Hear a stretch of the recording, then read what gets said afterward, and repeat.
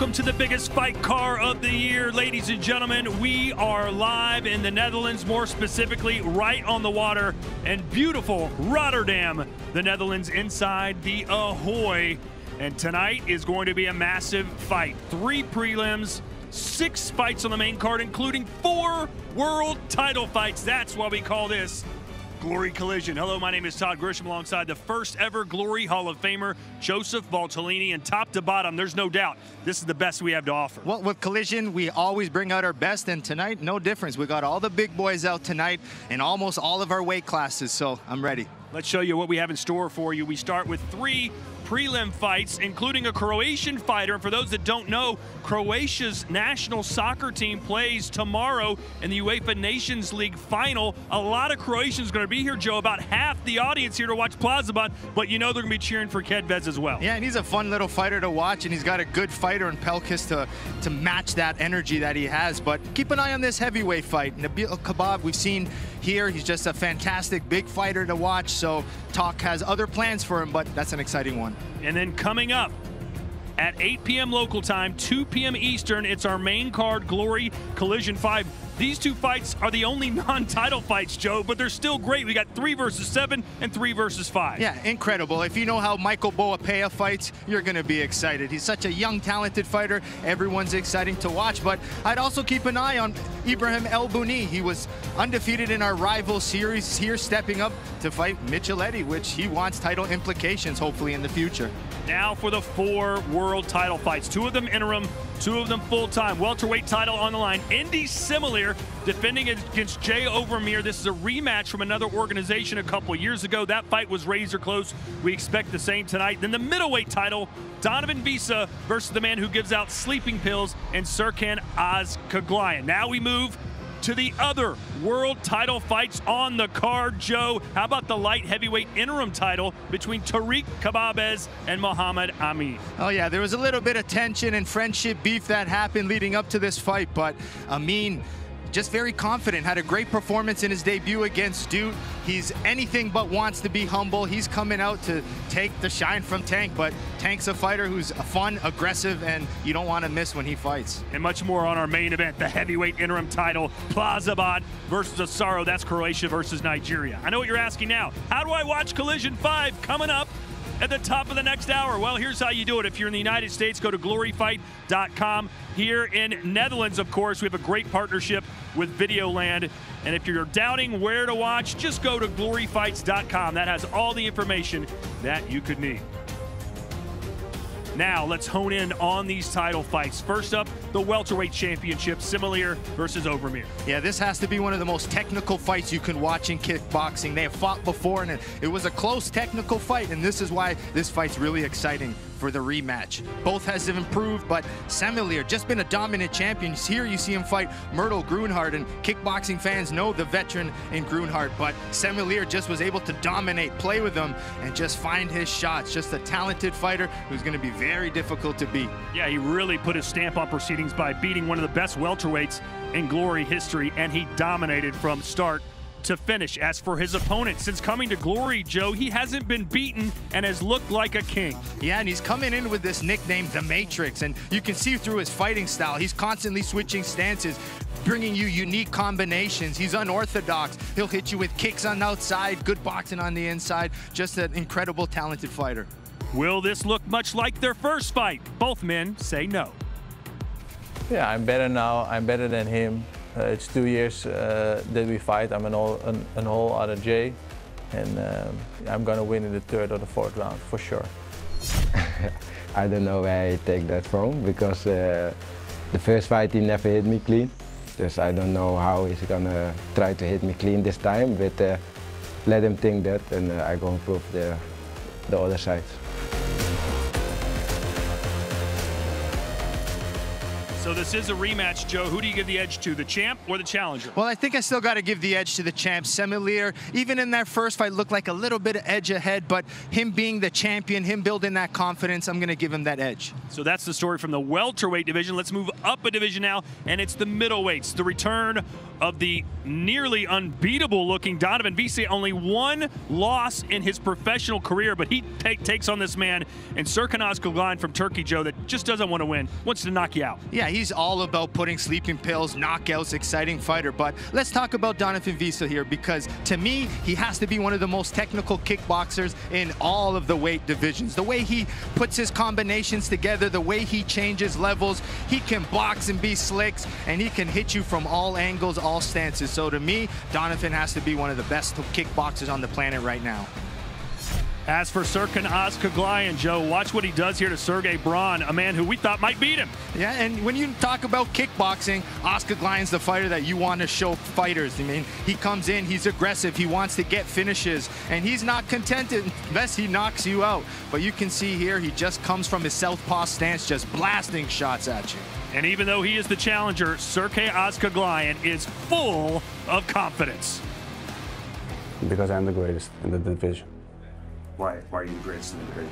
Because I have the shots, I have everything what people are watching for. I have the knockouts, I have the fighting heart, I have the spirit, I have everything what they're what they are buying for their tickets. I'm the man who they want to see. That he wants the title shot. He's a knockout fighter. I ain't a knockout fighter. I ain't a real champion because I don't go for the knockout, go for the kill. But uh, I'm a very diverse fighter. You know, I, I can use all of my techni uh, techniques. I'm uh, technical, explosive, uh, smart, flexible. So maybe that that's why. And he go and his fights are much shorter. He goes for the knockout, and uh, that's not just my style. You know, if it comes, it comes. And if I gotta win on points, I win on points. That's my my style. Wisse, the champion, is the favorite tonight, Joe. How does Ozcaglayan beat him? Well, I think it's going to be early pressure that he's known for. I mean, he's going to come out, be aggressive, because on paper, in the early parts of the fight, Ozcaglayan has the advantage because of that blasting style. But Wisse, the way he comes forward, the way he pressures, he tends to do better as the fight progresses. All right, let's talk about our light heavyweight interim fight, which is pretty interesting. The champ pulled out on Monday, so Tarik is in tears spoke to his what he thought really good friend Muhammad Amin on the phone. Amin said, "Oh, that stinks, sorry, buddy," and then immediately blast Tarik on social media, calling for him to fight it. Tarik felt he had to take the fight. He is not happy about that. A lot of bad blood in our light heavyweight interim championship. Let's move now to the heavyweights, ladies and gentlemen. That's why we're here. That's why half this arena will be cheering for Croatia's Antonio Plazibat. Yeah, you talked about friends, but these two are teammates, but they did not treat this fight camp like teammates. They say it's separate, and they both want knockouts. So for me, this is the fight you got to really stay locked in for because if you look at the Croatian Antonio Plazibat, he's patient. He's going to walk you down slowly, but when he unloads, he tries to take your head off. And look at these aggressive combinations he can throw. The way he rips the body, goes downstairs. He's all about knockout power. And Plazibat says he doesn't consider it a win unless he scores a knockout. He promises to give us another one here tonight, but so too does his opponent, Tariq Osaro, who got two in one night the last time we saw him. Oh, yeah, they're both Mike Jim's fighters, so that's their style. They're going to come out, they're going to try to decapitate you with all good power shots, and Cookie no different. He's long, he's rangy. He doesn't have the experience that Plazibat has, but anytime he touches you, and if he can put his combinations together, he's dangerous.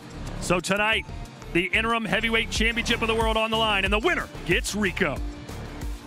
It will be very important for me to have this world title because I will be the first Nigerian heavyweight kickbox champion.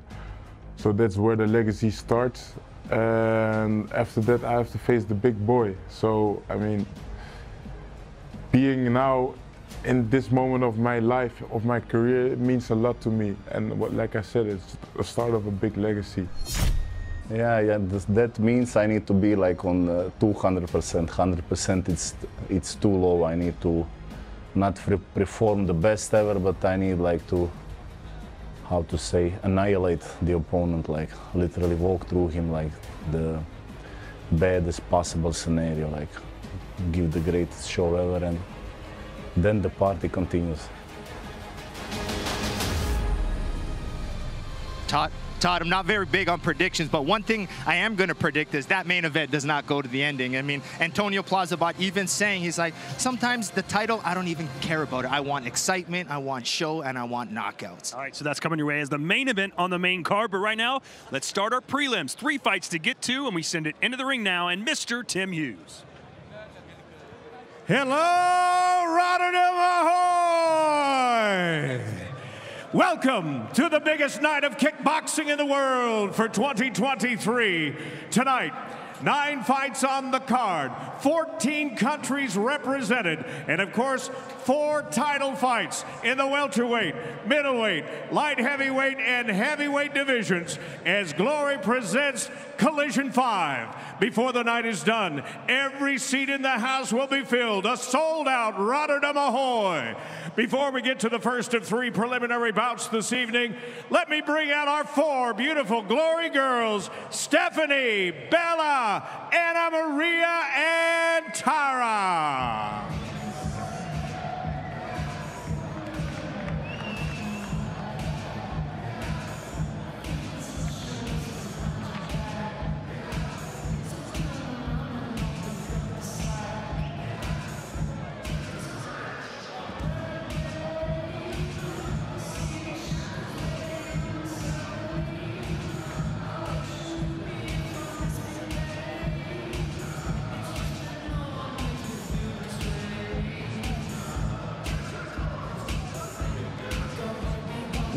Time. How about a big hand for the Glory Girls here in Rotterdam tonight? The first of three preliminary bouts is scheduled in the lightweight division and scheduled for three three-minute rounds. Both will be making their debut here in Rotterdam tonight. Please welcome Mareks Pelcis.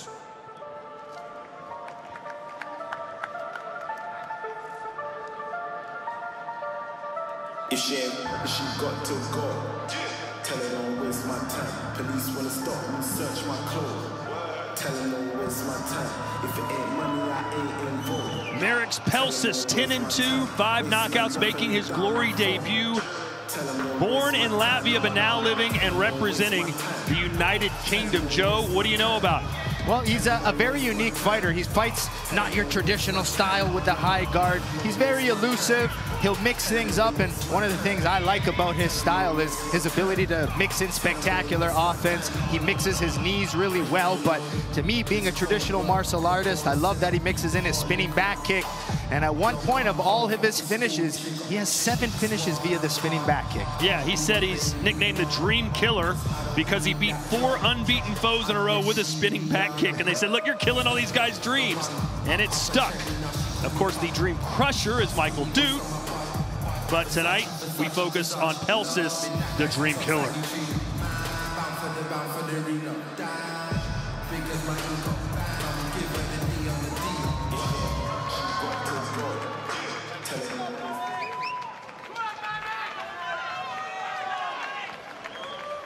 Now make his opponent feel welcome. It's Andrej Kedves.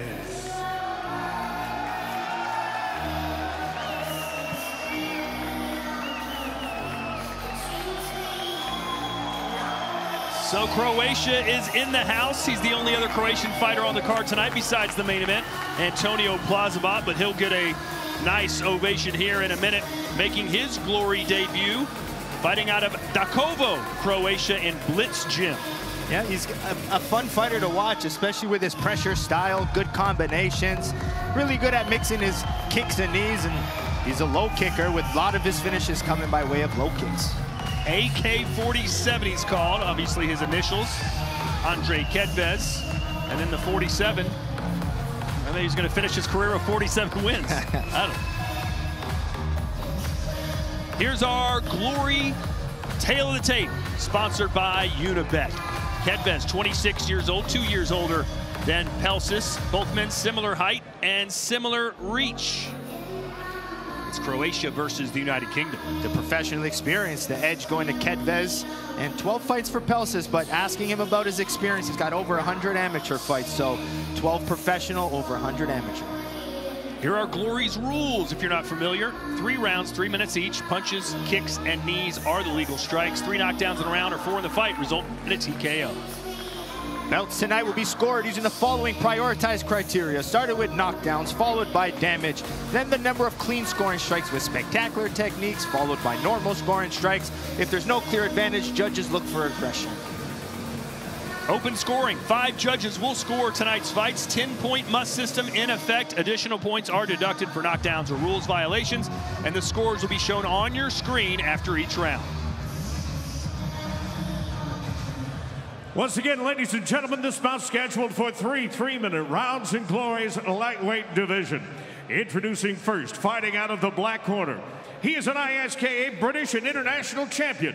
As a professional, 10 wins with two losses, half of those wins coming by way of knockout.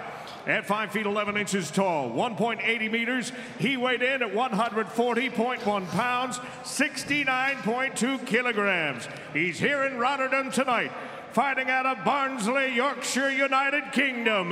Ladies and gentlemen, it's Mareks, the Dream Killer, Pelcis. Here now is his opponent, fighting out of the white corner, a European champion and a world champion in the last two years. His professional record 18 wins with four losses, seven of those wins coming by way of knockout. At 5 feet 10 inches tall, 1.78 meters, he weighed in at fight time at 140.7 pounds, 69.5 kilograms. Fighting tonight out of Đakovo, Croatia. Ladies and gentlemen, it's Andrej AK-47 Kedves. The third man inside the Glory ropes, your referee, Fateh Mazin. Check the gloves. Okay, guys, respect the rule, respect my command, okay? Protect yourself during all the bout. Go back to your corner. Kedves telling us yesterday, I will dominate this fight. I might start a little slow, but I will take over, and he will have no answers. Judge. Of course, Judge. Pelcis Judge. feels differently, Time. says I can adapt Fight. to any style, and that's what I'll do here. Yeah, you'll see Pelcis be a little bit more unorthodox with his feinting, his big long punches. Nice front kick there. Good answer from Kedves, who's in the black shorts, Pelcis in the red. Yeah, Kedves definitely has to be careful entering with those Oh. rangy punches. Stop! Fight! This is the glory debut for both these fighters. You know nerves are pouring through their veins right now. Nice knee from Pelcis. Yeah, you can see that unorthodox style of Pelcis. Overhand, scissor knees. There's that spinning back kick. It touched the liver Stop. too. That's where you get to finish if you can touch the liver with that back kick. Break! Step! Both men trying to get those Break, knees step up. back.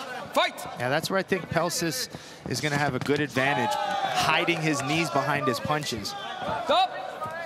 Where Kedves You. is going to be more of that You. traditional punch-to-kick style.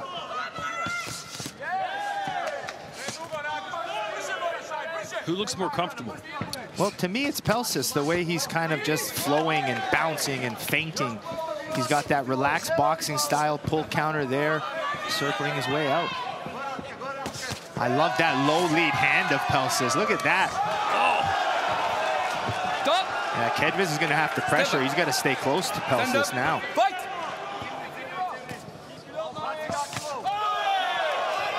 But you can see Pelcis' boxing is more traditional boxing with that low guard.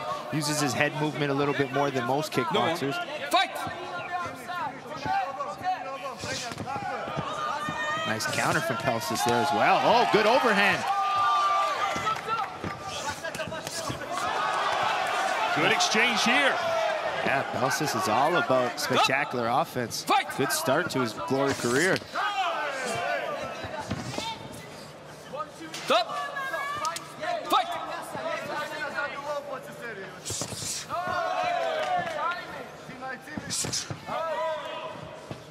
Yeah, there you go. Kedves is having a little bit more success now, slowly working his way in. He's certainly in fantastic condition. Both these fighters don't have an ounce of fat on them. There's the low kick that Kedves loves. You know, it's hard. It's hard to be five foot ten as both these guys are and still make featherweight. Yeah. Oh yeah. You can see just how long and rangy Pelcis is, but that spinning back kick's come like four times, and it's they're pretty accurate too. Good right hand scores for Pelcis.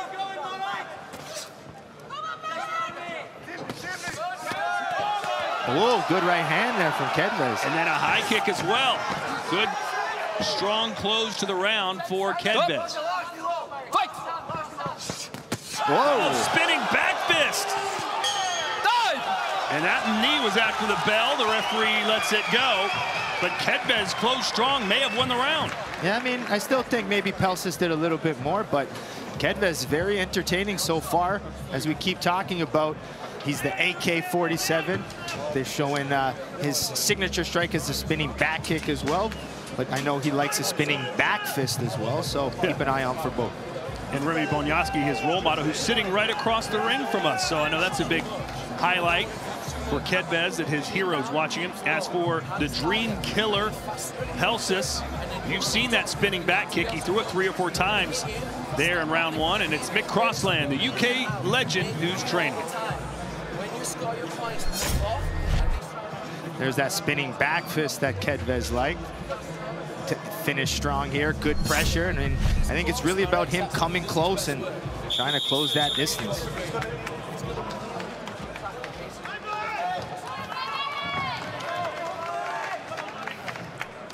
All right, round two.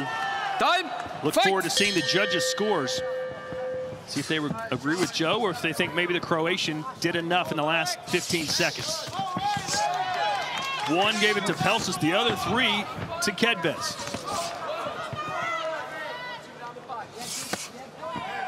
Yep, Kedves trying to get in there and pressure. That's his best strategy.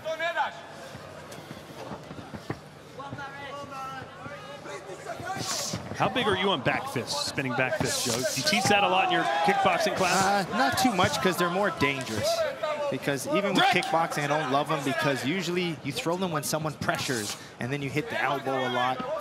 I actually have a nice knockdown with a spinning back fist in my career, so I use them once in a while. Who'd you knock down with the spinning back fist? Uh, Kareem Gaji. Oh, yes. Glory It's okay. In Turkey? Stand up. No, Chicago. Yeah, yeah, yeah. It's okay. Okay. Fight. Two minutes to go here in the second round. Break. Yep, better inside work from Kedves now. Look, he's more confident in there now, which is shown from that first round. Yeah, you can tell Pelcis likes to stand a little back in the in the pocket, to be able to use those long arms. Yep. Kedves doing the right game plan now. Would like him to chop those legs a little bit more. Oh, oh! they trade spinning back fist, and then a spinning back fist. I'm getting dizzy, Joe. A lot of spinning, is most spinning we've seen in one fight. It's like I the, like it. the teacups at Disneyland. Oh, that was right Oh. behind that another spinning back fist. Yeah, that was almost uh, a, just a back fist, not a spin back fist. Nice little shifting footwork from Kedves to get on the inside. Entertaining stuff. Yeah, take advantage of those spectacular offense points. Stop. Stop. There's the strikes Yeah, landed yeah, yeah, by yeah, types. Kedves kick heavy, Pelcis punch heavy. Yeah, quickly, please. Okay, nice. We know the Stay other here, Croatian will be Stay punch here. heavy tonight, Vazabat. He'll throw an occasional low kick. Yeah, you were joking Yeah. with him, I think, in Time, fight week. fight. Like, are we going to see kick fighting from you? What do you say? Maybe one or He said, two? I'll, I'll throw in an occasional low kick, but... Oh. oh, nice left there on the inside from Pelcis. And now they're throwing bombs. Yeah, that low kick after the punches. Well done. Stop. Pels is very awkward fighter to get in inside on. He's got to keep using his feinting because Kedves just walking in now. No threat. Break.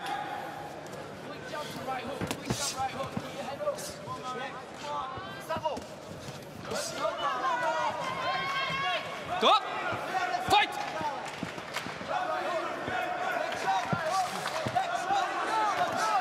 Nice body kick there from Kedves. You. Fight. Very strong ground for Kedves now. He's found his momentum. Oh, uh, You got to keep that head up. You'll eat a big Ooh. knee. And nice exchange there at the end of the round for Kedves, who's doing very well in his glory debut. Yeah, fantastic. Good pressure now, good work on the inside. Worked his way in successfully.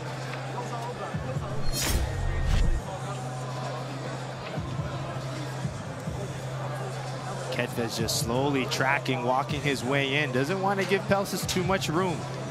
So he's intelligently walking his way in, looking for good counters, and then exchanging spins for spin. That happens a lot in fights. Usually when one fighter spins, the other one starts wanting to get it back. It's the fighter mentality.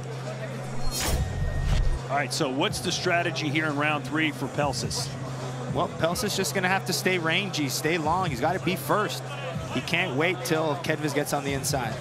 GloryShop.com, your destination for all the latest Glory merchandising, including signed event posters and the latest sweats, shirts, hats, and more. That's GloryShop.com.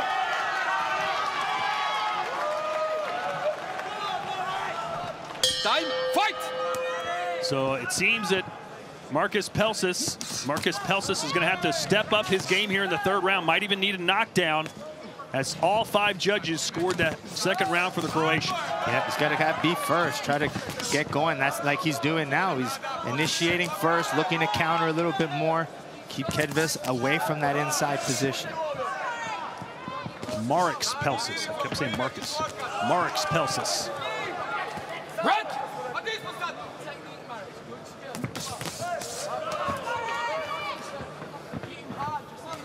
Pelcis still dangerous with his knees and his overhand. Yeah, you saw the strike count. Pelcis has the activity, but the damage, it seems, is being done by Kedves. Ooh, good step in left knee for Kedves. Nice entry. Just missing with that overhand right, and then they sit in the pocket. Is that what Pelcis might need to do at this point? Yeah, I think he's got to use his knees a little bit earlier because you know Kedves is coming in. He's usually his hook to set up the knees, but maybe something on to meet Kedves coming in.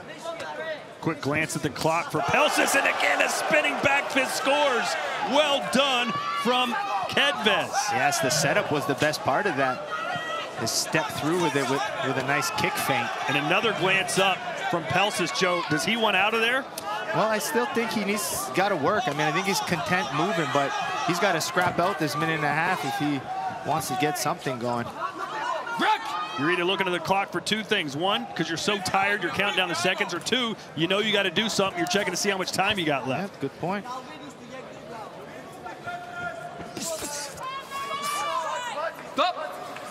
But I think Kedves is just fighting the right fight. He made adjustments in that first round, kept the fight in close range. Ooh. Now looking great on the inside, not giving Pelcis much to work with. You swing and miss with a spinning back fist, though. Like you said, you're very open. Yeah, but I liked how he followed it up there to keep that pressure coming forward. Break! Stop! Fight! 40 seconds for the Brit to pull off something special. But Kedves just looks like he's in too good a shape. Yeah, sharp, technical. Oh, caught him again. The way he sets up his spinning back fist with his stance switching. Yeah, he's definitely flowing well now, confidently. Who knew that Kedves would outspin Pelcis tonight? Pelcis known for his spinning attack. Nice low kick there too from Kedves, chopping away, picking apart. He's gone everywhere. Upstairs, downstairs, to the legs. Last flurry, and they'll hug it out, and that will do it. What a debut from Andrej Kedves fighting out of Đakovo, Croatia. Multi-time Croatian national champion making his debut at the premier stand-up fight organization in the world, and it went extremely well. The official decision when we return.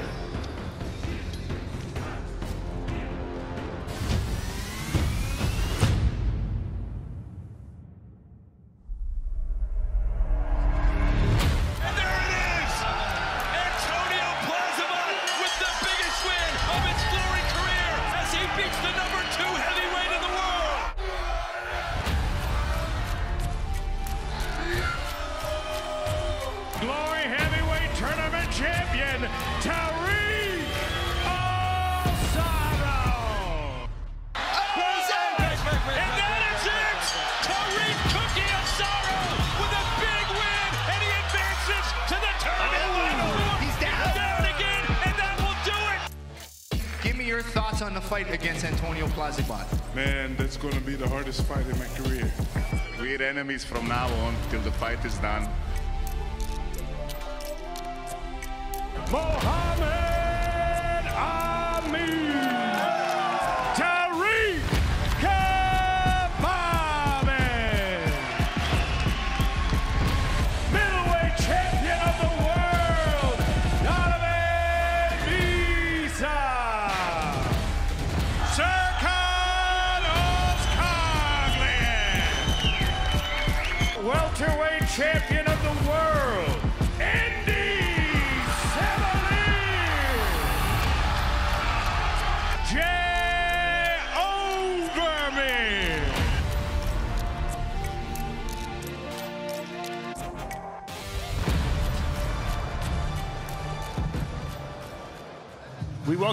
To the Ahoy Arena here in Rotterdam, the Netherlands. Jump into our highlights from our opening prelim. Yep, Pelsa started pretty good with his unorthodox style, mixing in different attacks, but Kedves slowly started working his way in, finding combinations on the inside, and just did great work. His confidence built as the fight went on. You saw him mix good offense, upstairs, downstairs, chopping the legs, a lot of spinning back fists. Pelsa's never out, really trying to get some offense on the outside, but the good setups of the spinning back fist, just Kedves was better tonight. Well, Kedves told us, I will dominate him in every way in this fight. And according to the judges' scores, he seemed to do it. Although punches belong to Pelcis, 90 of 189. But Joe, I know you, you put a lot more emphasis on kicks. 44 landed compared to just 10. Yeah, even the punches too. I think the damage came a little bit more from Kedves' side, but again, Pelcis still looks promising, so hopefully we get to see him back. Let's get the decision now. We go back into the ring and Tim Hughes. Ladies and gentlemen, after th- three rounds of kickboxing, we go to the judges' scorecard. Let's look at the totals from our five ringside judges. One judge scores the bout 29 28. The four remaining judges all have it 30 27. A unanimous decision, all for your winner, Andrej Kedves. Joe, did, did you expect it to be that easy for him? No, I mean, I didn't know how well he would do against that unorthodox style that Pelcis has, but I thought he did great. Good promise. The way he pressures, the confidence he has. He has fought bigger names in the past. One that we recently seen, Enriko Kehl. So he's fought some big guys before. So let's see how he climbs these rankings. Yeah, we know we'll see him again soon. He's worked as a physical therapist in a hospital before, so he'll have to put that career maybe on the back burner for a year or two as he tries to make his way up the ranks here in glory, picking up win number 19 in his young career.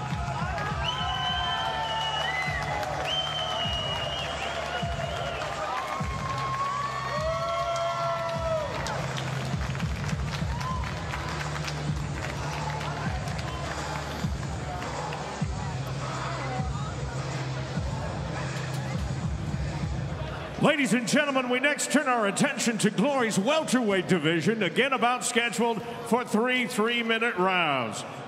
Please welcome to the ring, Edward Gafencu.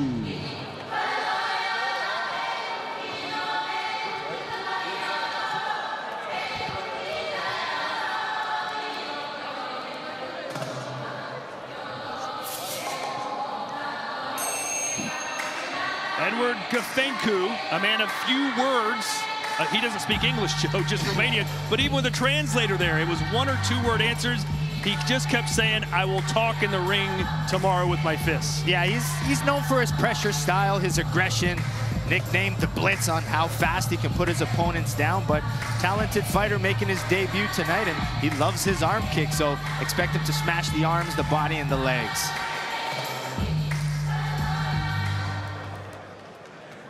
And now please welcome his opponent, Diaguely Camara.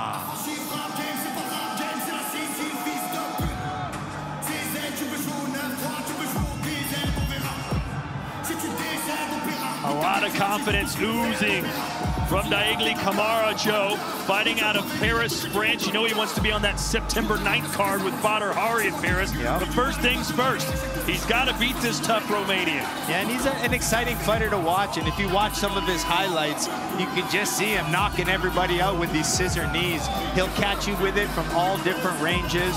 And he's a good balance. You'll see him mixing his boxing and his kicks very well. Just a fun, spectacular fighter to watch. Describes himself as the perfect mix of a kicker and a puncher.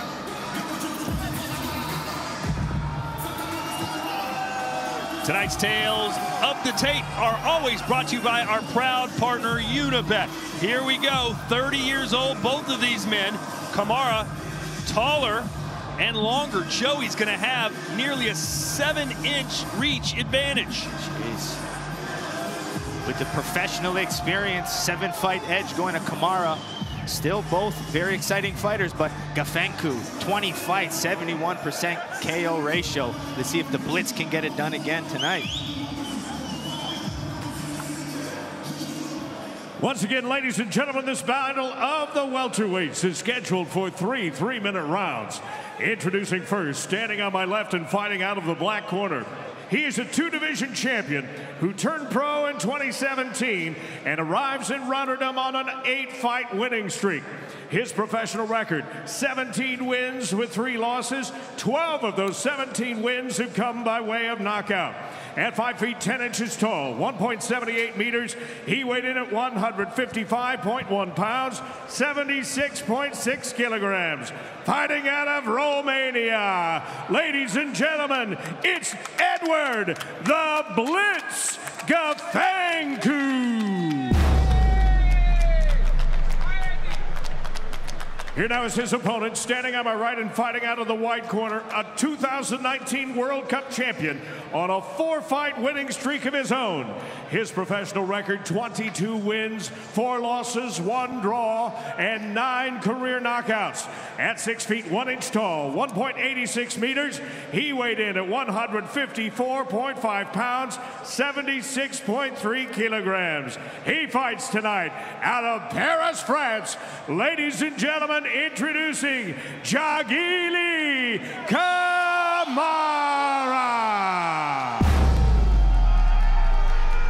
And your referee for this bout, Jan Franca.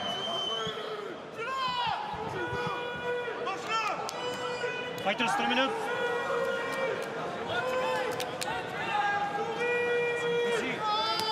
Okay, shake your hands, everyone. Three rounds, three minutes. Glory rules. Listen my comments. Good luck. Back to the corners. Joe, this is like an international house of pancakes. We've got another, we've got Paris, or we got France now versus Time. Romania. Our First first fight was Croatia versus England. Here we go. Camara in the black trunks, Gafencu in the white. Gafencu had a, a viral video doing a tornado kit from 2019, which is spectacular to see. I highly recommend you Google it. Yeah, we're, uh, voted on by many as the knockout of the year in kickboxing in 2019. incredible. Yeah, I don't think the tornado kick is something you teach at Bazooka Joe's, is it? It takes like nine seconds to throw that kick. Well, sometimes with, if you have a Taekwondo background, it's easy. Well, you're a black belt Taekwondo. Yeah. Is that an easy kick for you? For me, yes, it is. One, two, three. Yeah, Gafencu also has some pro boxing experience, 3-0 as a boxer, all finishes. Boy, you can see he puts everything into those punches. Yeah, Camara playing a, a more defensive style fight, letting Gafencu work off of his guard a little bit, but watch these little quick knees he's gonna throw. It's coming soon.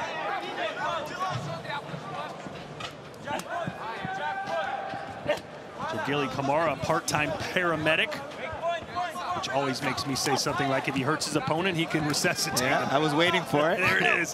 Hey, hey, and I mentioned September 9th in Paris. We're headed back. Glory 88.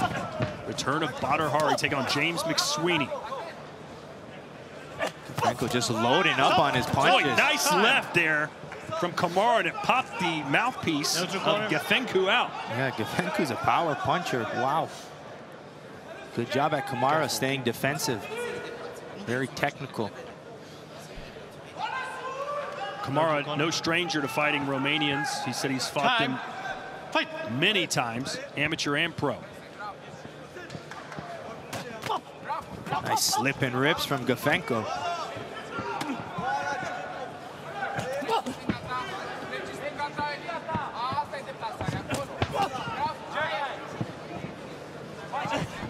Who would you say is your most favorite French kickboxer of all time?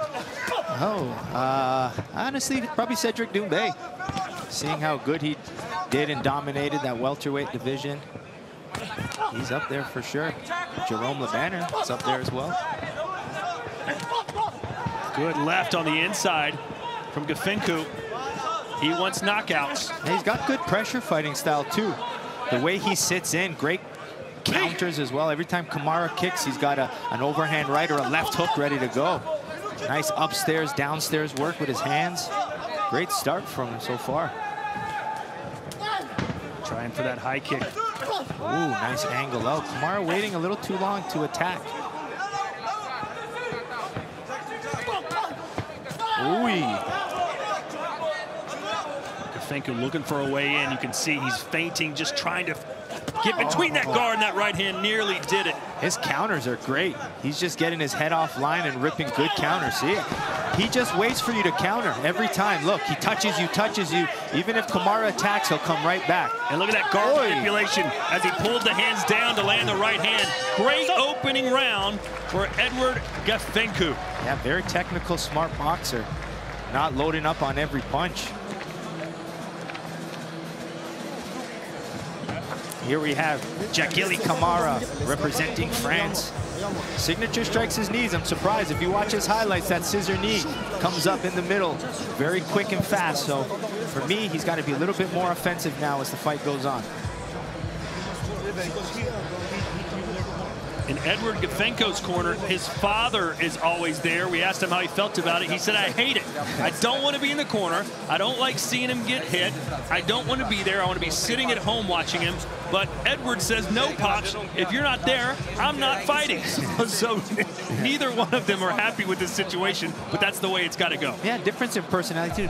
Father's so social, where Gafencu just sat there and looked mean and smiled. Yeah, the dad does the talking, the son does the punching. Yeah, but Gafencu, great job in this first round. Slipping, ripping, getting his head off line. Great counters. And a beautiful scissor knee to end that first round.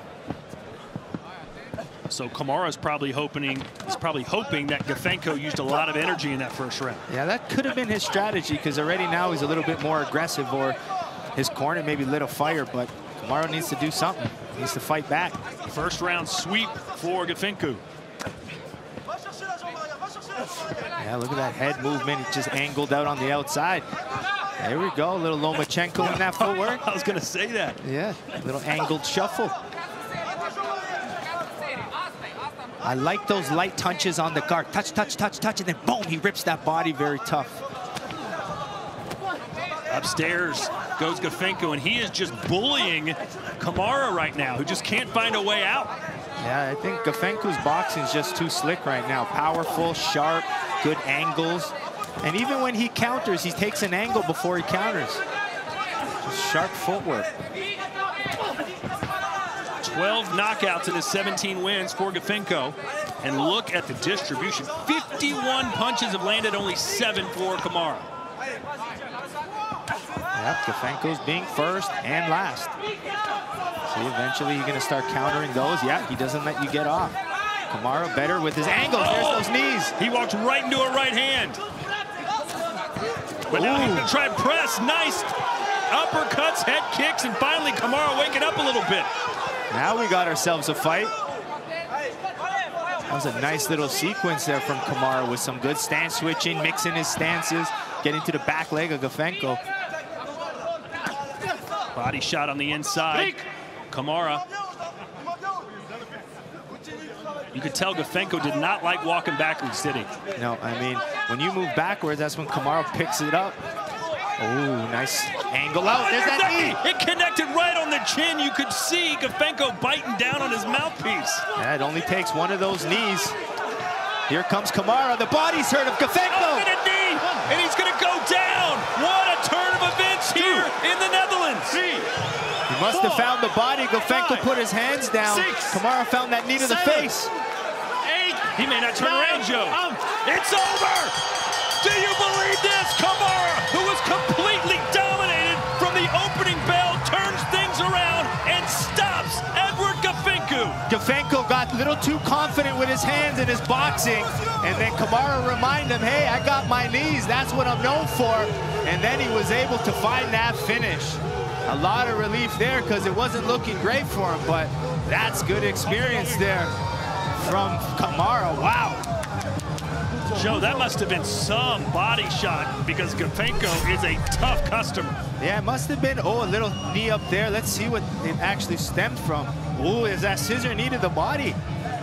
Let's see if he slows down from here. Yeah, oh, a second body kick probably just added up to it. And then he was able to just mix his combinations. Kick. The front kick, too, was an accumulation of body shots that slowly put Gafencu leaning forward, and then all of a sudden he bit the nice left hand. Oh, that knee, my word, on the temple. Especially as he was dipping, he did a beautiful oh. gallop step to be able to connect with that knee. Man, what a finisher. Those knees are something else from Camara. Allez la Blue, France stepping up. in our second fight of the night. What a win for Camara. We make it official next.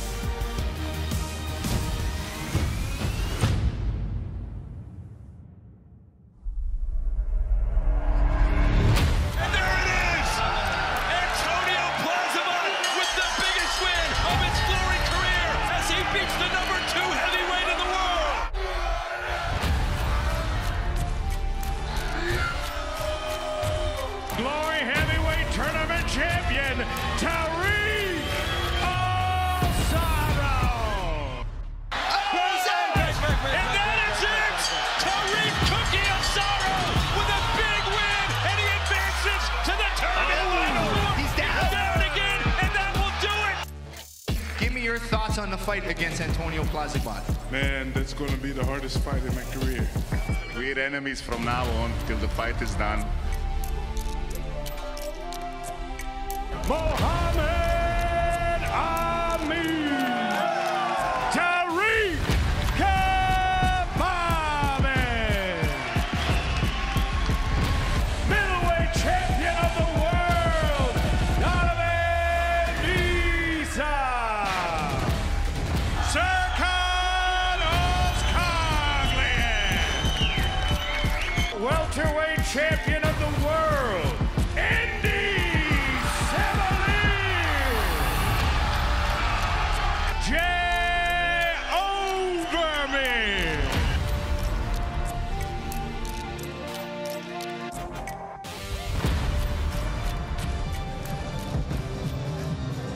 are back in the Rotterdam, and what an exciting finish to this contest. Yeah, and in the beginning part of this fight, Gafencu looked incredible. Good boxing, very technical, really showed his, his high-level footwork, his ability to touch and mix rips, but Camara started to pick things up, started attacking the body. Once he got aggressive, you've seen the damage he can do the way he mixes that body, then into that knee to the head. Just a fun fighter to watch. And we warned you about his knees. He oh. kind of kept them hidden until that second round, and then he just found them with great success. How he didn't go down to the canvas after that knee, I'll never know. Here are the final strike count statistics. And you could see Camara, with those kicks, they started adding up and adding up. And don't forget about those knees, especially the last one. Wow when you're looking at the zone. It's Gafencu really head punching a lot, maybe a few rips to the body, but it was more Camara mixing up his attack, attacking the legs, and then at the end of the day, all that mattered was that big punch that led to the knees. Ladies and gentlemen, you watched it as it happened. This fight comes to an end with an official time of 2 minutes 24 seconds of that second round and ends by technical knockout for your winner, Diaguely Camara.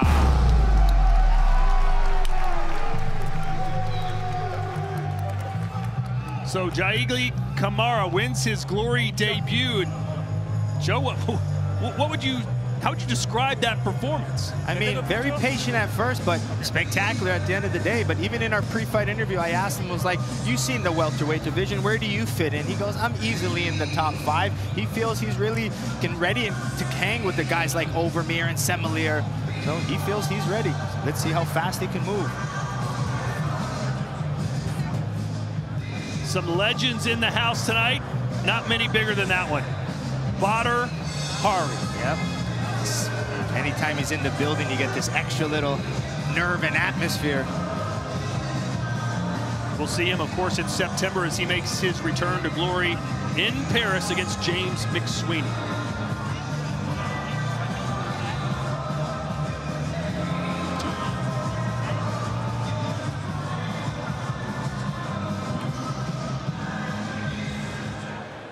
Ladies and gentlemen, the last of our three preliminary bouts is scheduled in the heavyweight division, scheduled for three three-minute rounds. And first to make his way to the glory ring is Vladimir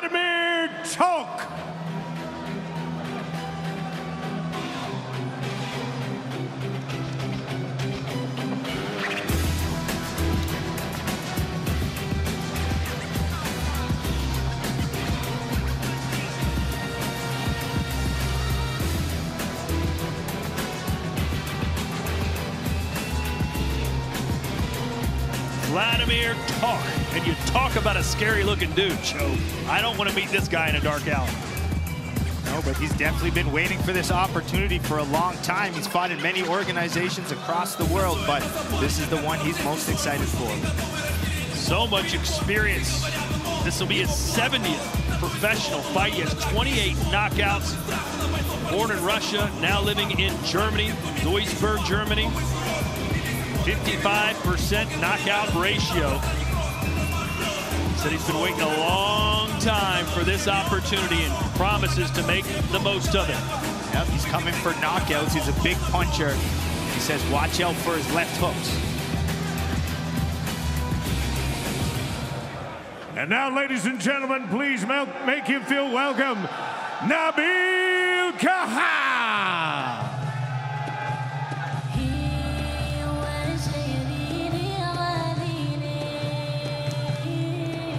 Nicknamed the Tank. We got two tanks on the card tonight. Maybe they'll fight one day.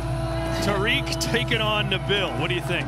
Well, I think they're a big difference now with Khbabez moving down to light heavyweight, but this tank here, Khachab, only 22 years old, still in school, and he's just keeps pressure. He knows how to use his side. He's got a huge Moroccan fan base behind him.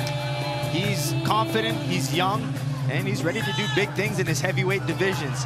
He's very vocal. He wants in that heavyweight tournament, the Grand Prix at the end of the year, so he needs to impress Robbie Timmers tonight. He's already fought twice this year, one win, one loss. As for that loss, he said, I was too emotional. I'm a young boy, I've got to stay mentally strong.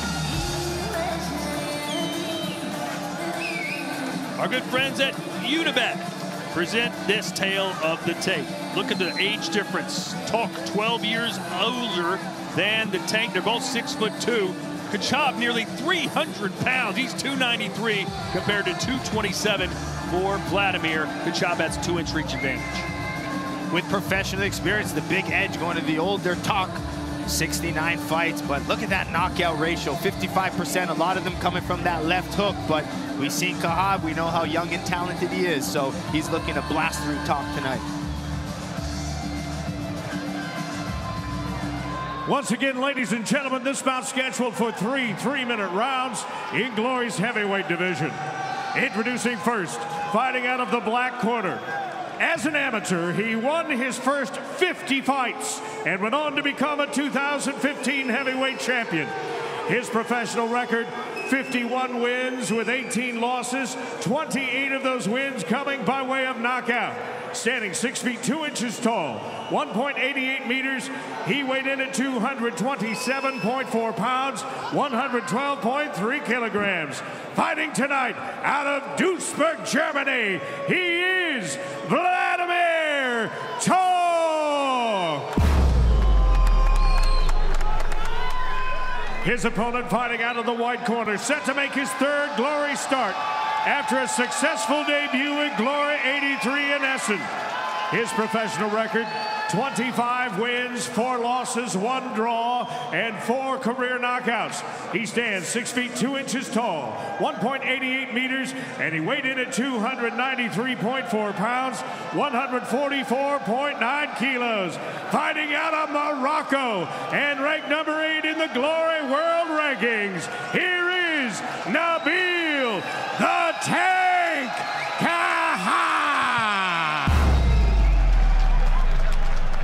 third man inside the glory ropes, your referee is Edward Stryker. Okay, guys, listen. You're fighting three rounds of three minutes. You know the glory rules. There is no standing eight count. Protect yourself at all time and listen to my command. Tough gloves if you want. Back to your corner.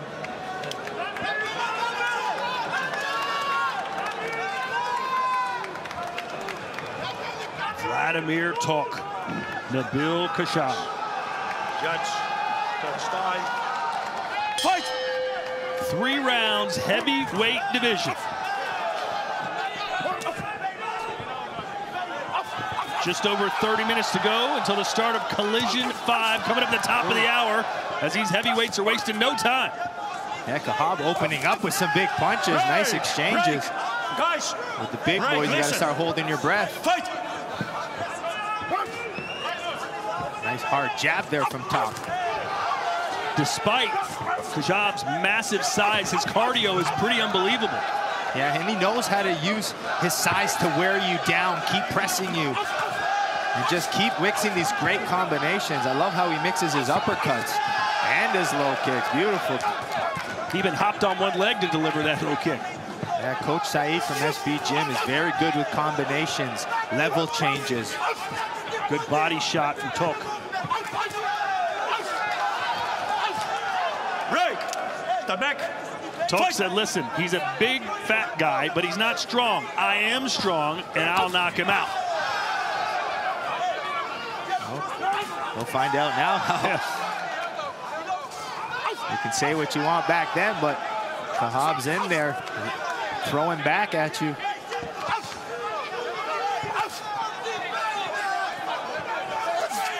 A knee there from Vladimir Tok doesn't quite connect. Oh, punch the kick from Khachab, beautifully done. Break! Watch out the elbow. Fight! No elbows, of course, in glory. Hey, liking this little footwork here.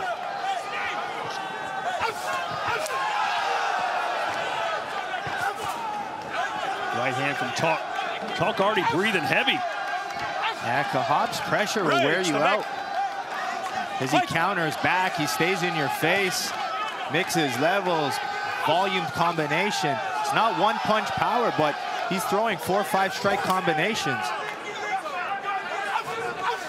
Four, yeah, there's your four hit combo. What would your target be on Khachab if you're Tok? Where are you throwing your punches and kicks? Well, I'm looking for counter hooks. to Oh, the right hand snaps that, that mouthpiece out, and Edward Stryker, the referee, Corner. You're, su- aren't you supposed to let the action die down, then grab the mouthpiece? Snel, I guess the timing of where it was, uh, Edward Stryker decided. He's one of our most experienced referees. Turn around, please. Watch out, uh, keep him You in can your tell hands. Tok really appreciated that moment to catch his breath. Fight! But a great start to this fight for Khachab. Yeah, these combinations are fantastic. He's really opening up more, mixing his levels well. Good defense as well. Well, he was about to throw a switch kick. Oh, good body kick from Tok. Yeah, the Khachab keeps walking forward though. That's what Tok needs to do, try to put things in combination. But Khachab likes to counter. Break! And that'll do it for round one. Great start from the Moroccan.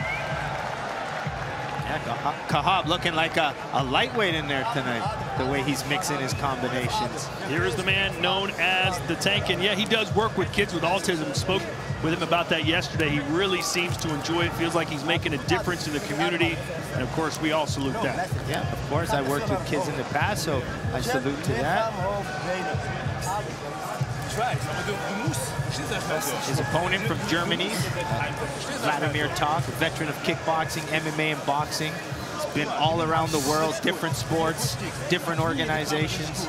But this was his dream to get here tonight. That pressure of Khachab has been the biggest difference in these combinations. Are just fantastic to see from, from a heavyweight. And not a small heavyweight, from a big heavyweight like the it's that much more impressive. He's even jumping, spinning, uh, scissor knees. He's having fun. 293 pounder is the tank. Tok coming out hot. All five judges giving that to Nabil.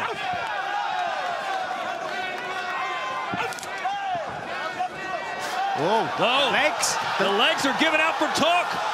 Look at that speed of Khachab. Boy, he looked like Usain Bolt running over there. And he's just hammering down low. And again. That's what you call chopping the tree down. Khachab only has four knockouts in his 25 wins. Oh, again he keeps chopping. Good timing with that low kick. The foundation's still not good. Yeah, Khachab's gonna have to go back to his boxing to get Tok to sit there. That's more success with the low kick. Set those kicks with punches right here. Now, when he's heavy on the leg, you go back after it. Joe, it's just so crazy that Khachab, in, in his in such good physical condition, in, in such good cardiovascular condition, can still weigh that much. Yeah, and he's not even breathing heavy. Keep pressuring that speed when he even has you hurting. Pounces right on you. Look at these combos, see? Once he mixes his punches with his kicks, that's when he's gonna get that low kick finish. Khachab told us his goal right now is to get in that end-of-year tournament. The Glory Heavyweight Grand Prix. All kinds of rumors of where that tournament's going to be. Some big locations being mentioned. Nothing confirmed yet, but it will be the biggest card perhaps Glory's ever had. Let's see what Khachab can do with the tired Tok right now. Can he get back to that leg?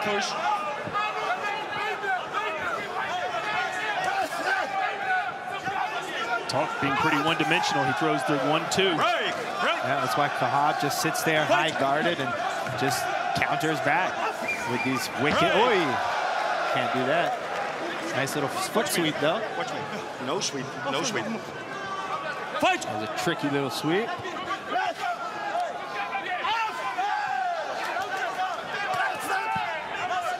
I will say this, Tok looked like he was going to go down at the beginning of the round, but he's managed to stay on his feet. Yeah, he's surviving the low kicks. But him being aggressive helps him. If he just waits, that when Khachab can put these combos, that's what he has to do, counter back. Keep pressing. If he's going to eat a low kick, at least put three, four punches back out. Just fire out of that shell. Break! Step back. Guys, listen, let's go. If I say back. Fight!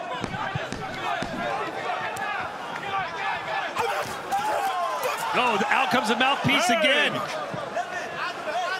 I feel like they should have let that one go. Time. This is the second time and the third time. Make sure you watch Glory events 24-7. All you could want, ladies and gentlemen. That's on Glory's new fast channels. Visit glorykickboxing.com for more information. 26 minutes from now, ladies and gentlemen, it's the beginning of Glory Collision 5. Here's how to watch in your country. And if you don't see your country listed here, simply go to gloryfights.com for more information.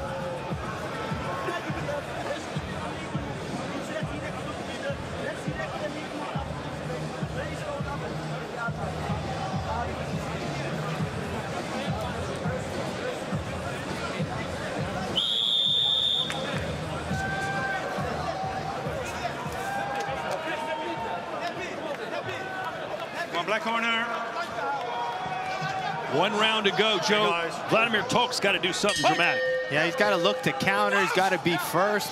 But easier said than done against the Khachab, who's on fire tonight. All the judges are in agreement. He's won both rounds.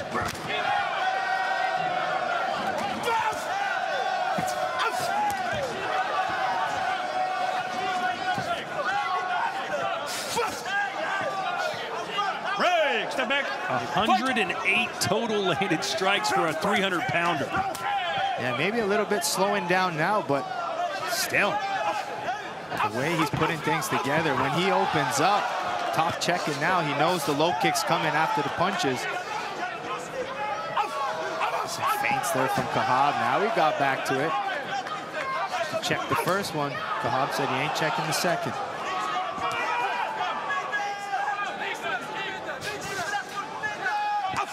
Khachab would love to get a knockout on his resume in glory. Nope. They keep touching gloves. Tok almost gave him an overhand right. Yeah, that body's wide open. Oh, Khachab. Loving the noises of Khachab. He's ready to go five rounds. Look at him. Oh, oh big left hook. Listen to me. Don't Gave him a little back. smile there. A little bit of swag coming from Khachab. I like it. He doesn't think Tok can hurt him. That's a good feeling, isn't it? Nice high guard defense. Oh, nice on the way out the left. Yeah. Low kick again. Jeez. Imagine if you could get some power into this guy's gloves. Yeah, you gotta think 22 years old. If he's the time he's 25, 26, even in his 30s, it's gonna be amazing to see him develop from such a young age. If he can stay focused. So confident, studying to be an architect, but too talented in kickboxing. Well, he's designed the perfect blueprint here tonight as snot comes flying out of the nose Break. of Vic Vladimir Break, Tok. let go. Fight!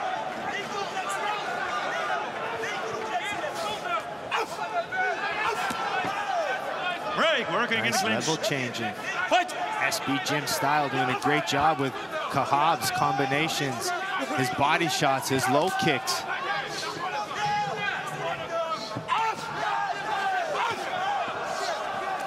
Break! Step back, guys. 20 seconds to go. What's more likely? Tok knocks down Khachab. Khachab knocks him out. Well, I think uh, it's going right down 10 seconds. I think it's just going to end with a blast. Yeah, Tok is spent. Yeah. But give him credit, he went the distance. But tonight belonged to the Moroccan, no doubt about it. In the end, it was easy work for Nabil Khachab. We will make it official and hear from the Moroccan when we return.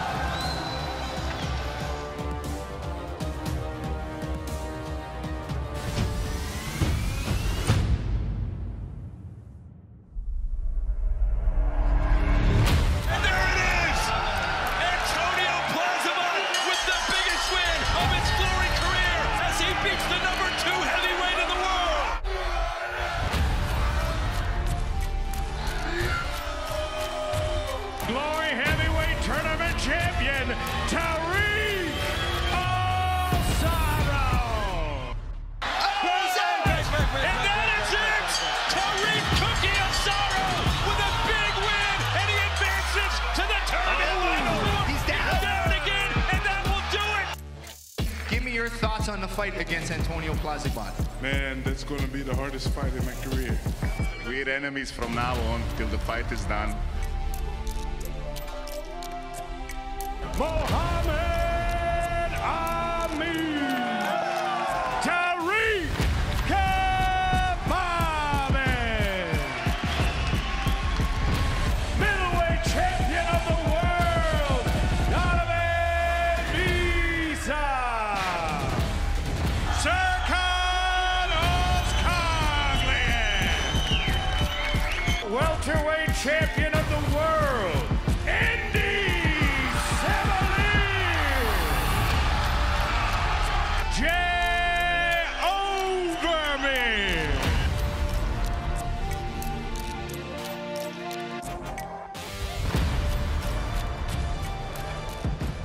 welcome you back 20 minutes away from Glory Collision 5, but let's relive the highlights from this heavyweight showdown. Khachab, combinations, level changing, leg kicks, scissor knees. He brought the full arsenal tonight.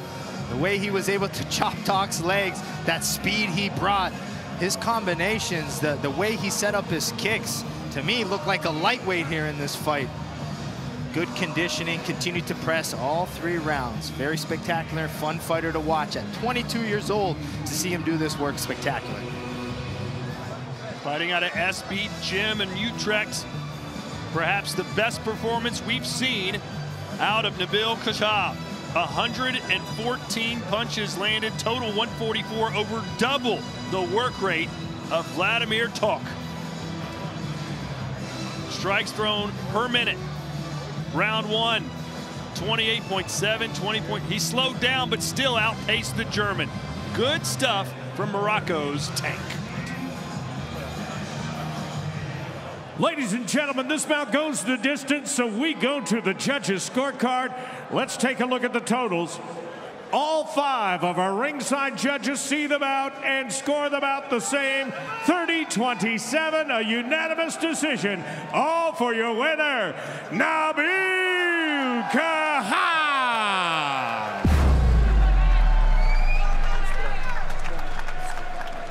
I'm here with the fan favorite, Nabil Khachab. Man, it's got to feel good winning here in front of your fans in your first collision. Yes, I want to say first of all, Alhamdulillah, I've won. Robbie, where is the tournament? Bring me that.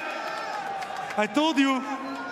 Come on. Yeah, Alhamdulillah, I won. It was a, it was a good job, but uh, always have to be better. Yes. Well, I was had to check a couple of times to check if you were a heavyweight or a lightweight with those combinations, the way you went at it. How did you rate your performance tonight? Uh, I train with coach Said, and uh, we are working. So the combinations, it is his style, a little bit combination of my old gym. So it's good, it's good. And uh, props to Said. Well, I mean, you're nice, getting a nice momentum here. Where do you see yourself going in here in this division, and how fast do you want to move? Uh, real quick, because I want in the tournament. I want to go in the tournament. What I know, what I have now showed was a was a spectacular fight. But when you put me in the tournament with the heavy guys, bro, that's killing. All right, Rotterdam, let's hear it for your winner, the favorite here, Nabil Khachab.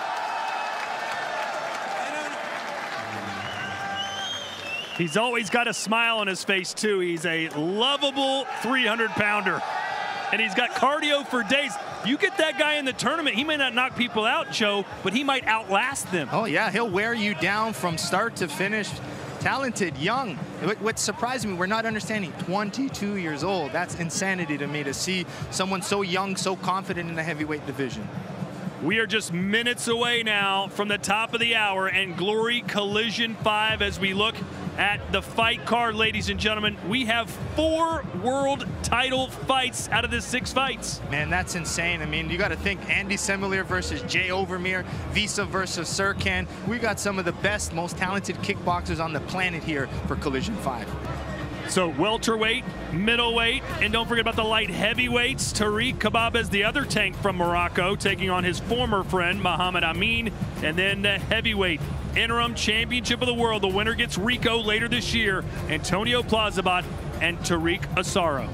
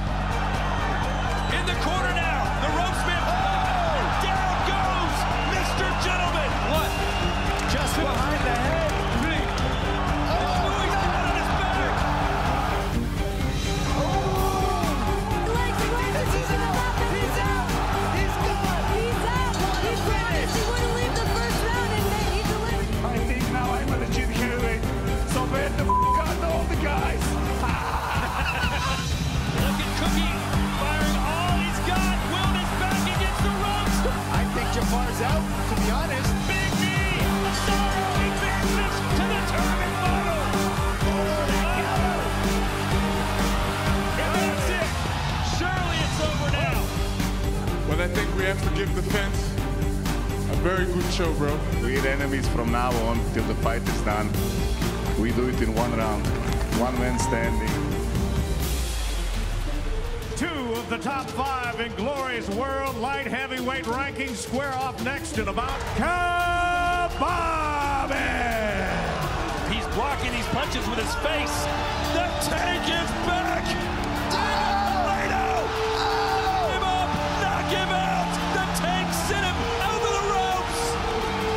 Coming for you. Hush. Ladies and gentlemen, Mohammed Ali. If they give me somebody in the top five, I will be the I said it two years ago. I manifested. Look at me now. Right, right hand down the middle. I give everything in the fight. That's my style. Kill, be killed.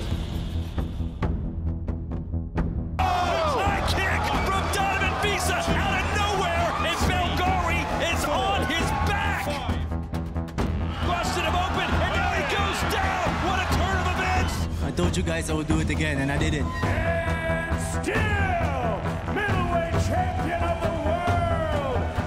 Serkan, stop talking, take the fight, and we'll see each other in the ring. Hell on earth as he goes down. He is down. And I'm ready for everybody. Push. Oh, oh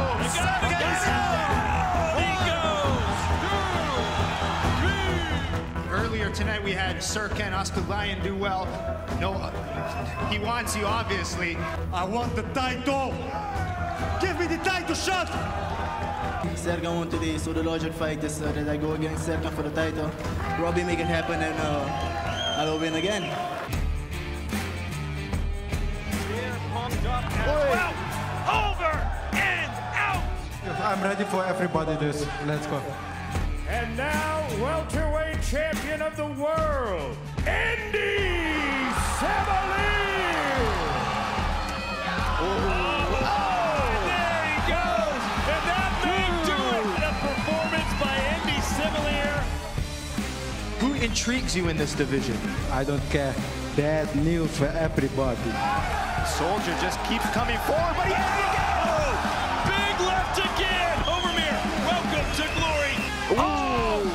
This is the beginning. It's only the beginning.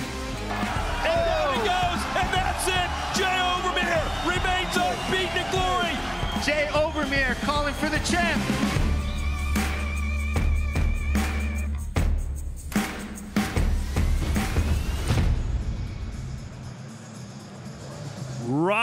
Is the host for Glory Collision 5 coming your way in just a few minutes. Joe, four world title fights. Of course, the main event, the heavyweight interim title, Plazibat versus Cookie Osaro. And I can tell you right now, there are Croatian soccer jerseys all over this arena. The crowd is going to be berserk. But the other three fights, Joe, of those three, which one do you think is going to be the most exciting? That's a tough one to say, but I'm going to go with Donovan Wisse versus Oscar Glyan. Donovan Wisse, one of the most technical fighters on the planet in any combat sports. Spectacular, technical, great IQ.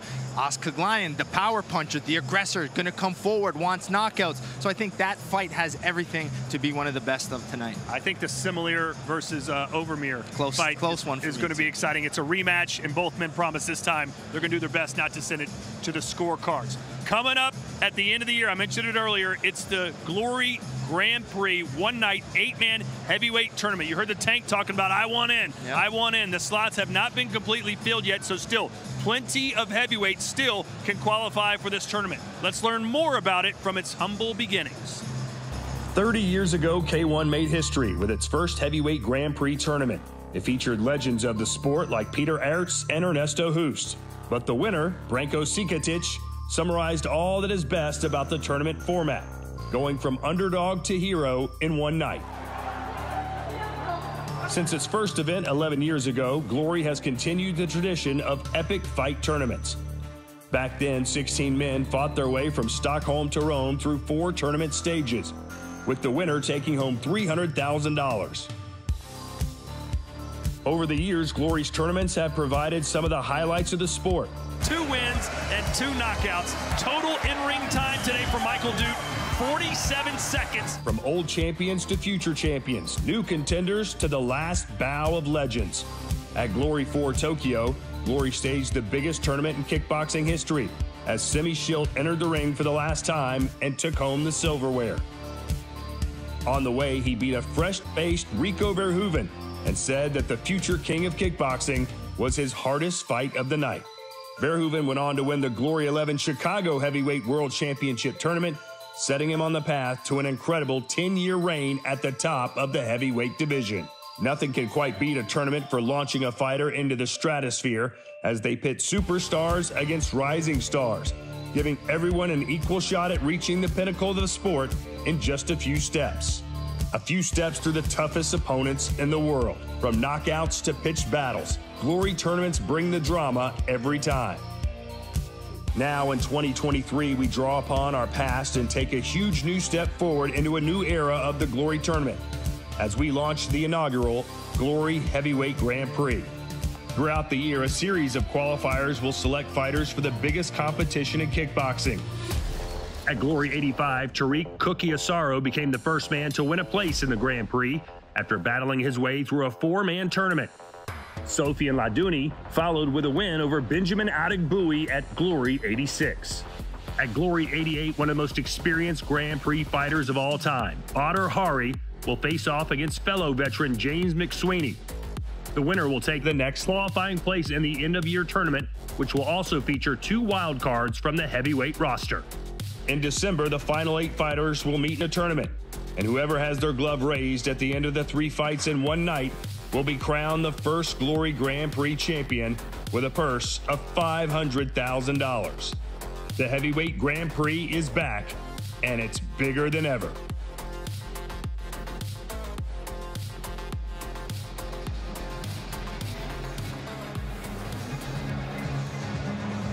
Well, ladies and gentlemen, it's coming your way at the end of the year in December.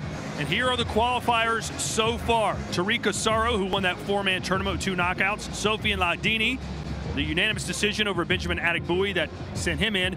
Glory 87, ladies and gentlemen, back here in the Netherlands in August, another one-night four-man qualifying tournament. And then in September in Paris, the winner of Badr versus James McSweeney is in. That's insane. To have Badr Hari potentially be in it is would be spectacular. Knowing the history of tournaments in kickboxing, that would just give everybody goosebumps. And I think it's great the fact that Badr Hari even wants to be in the tournament. He was talking about retirement the last time we saw him. So not only is he back in September, he wants to be back in December as well and try and win four fights in one night and that half million dollar prize. Yeah, I'm thinking about putting on some weight and asking Robbie for half a million dollars. I'm in too. Really? hey, I'll put some weight on. Why not? Yeah. Yeah, gain a little weight. Yeah, trying. How about Khachab? He was talking about, I want to be in the tournament. I want to be in the tournament. We just announced we'll be back in the Netherlands in August with a four-man, one-night tournament. I think Robbie's going to throw him in that tournament. Why wouldn't you? I mean, he came out unscathed. He looked good. Great combinations. I think, like you said, he would be a great tournament fighter as well. He'd be a great wild card to be in there. One man, however, that doesn't get mentioned very often is the king of kickboxing. That's because Rico Verhoeven has been out of glory action for over a year and a half now. But don't worry, he's here and he's ready to come back soon.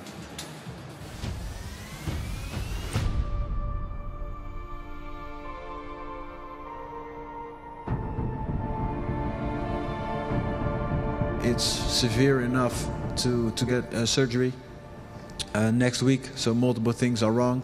I got the call like he fucked his knee, and I was like, my friend was with me on the training. He, he told I look like somebody died. That was the look on my face. So very like yeah, sour taste in the mouth. You know, it's not the good news.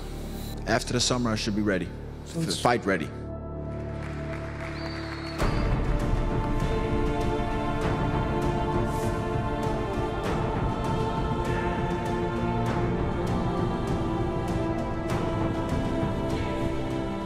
It's been such a struggle for me mentally. I was just disappointed in in my body. Like, why? Why now? Why now? I, I literally did everything I could do. They told me after surgery, believe me, you're gonna have pain. This is gonna hurt. At a certain point, I had to accept it that this is the cards I've been dealt. So I have to play them. Now, just like really fully in in recovery mode and getting back uh, as world champion.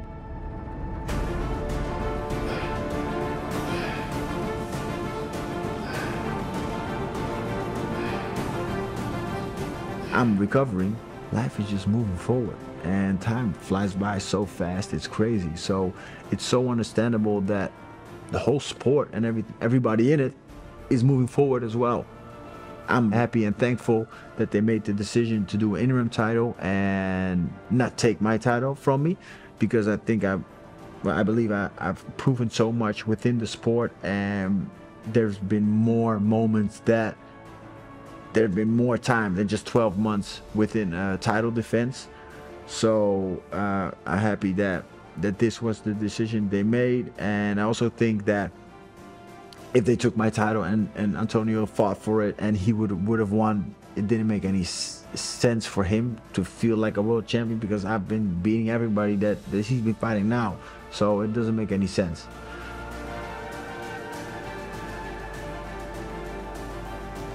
If I look at recovery wise and I take all the advice that everybody's given me that October, November definitely should, um, yeah, is an option.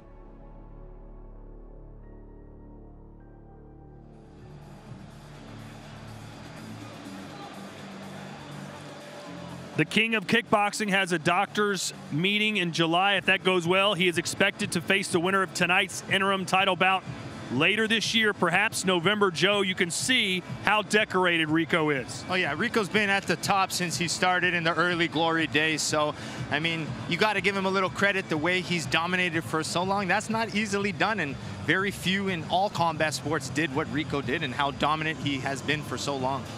Well, a lot of praise has been dumped on Antonio Plazibat lately, and I'm sure that may rub Rico Verhoeven the wrong way a little bit. Who do you think you prefer to face later this year, tonight's winner, Plazibat or Cookie Osaro?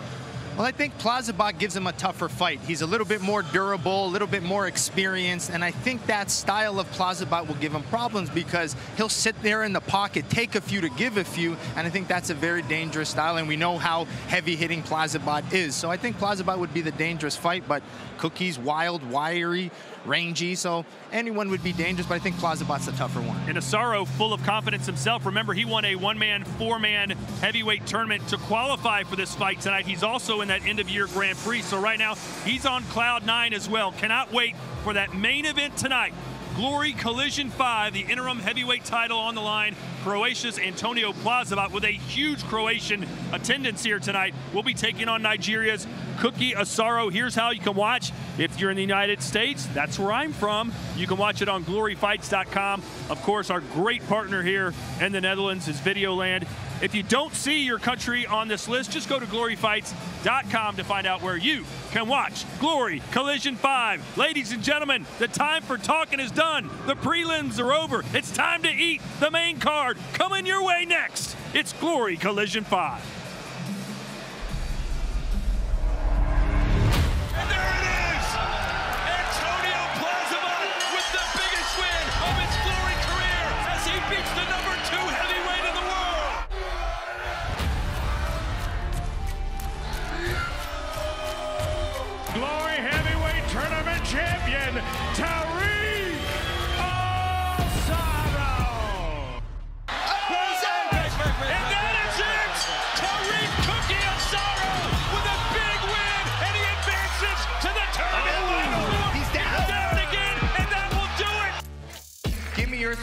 Fight against Antonio Plazibat. Man, that's going to be the hardest fight in my career.